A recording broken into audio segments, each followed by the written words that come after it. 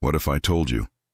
A blast stronger than a nuclear bomb once shook the Earth, decades before the first atomic test. No crater, no impact, just devastation.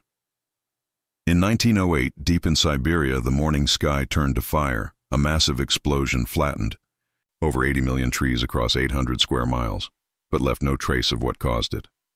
Witnesses described a second sun rising, followed by a shock wave that shattered windows hundreds of miles away. Scientists rushed to find a meteorite, but there was no crater, no debris, nothing. Some believed it was a comet, others said a secret experiment gone wrong. And a few claimed it was something not of this earth.